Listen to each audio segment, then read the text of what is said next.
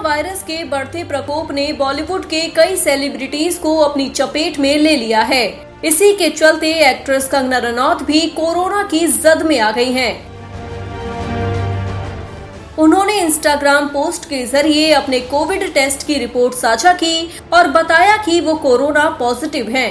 इसी के साथ कंगना ने अपना हालचाल भी शेयर किया है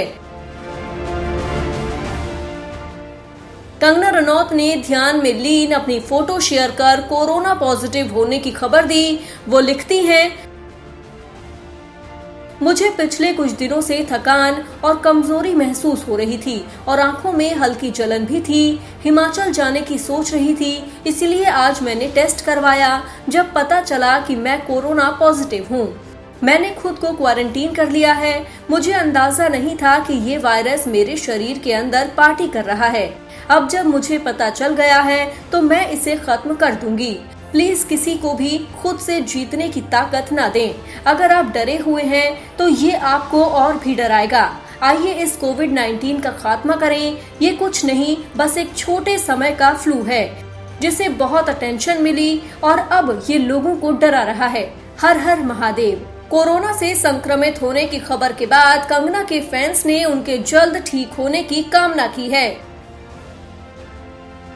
पिछले दिनों कंगना रनौत के ट्विटर अकाउंट सस्पेंड होने की खबर ने सनसनी मचा दी थी।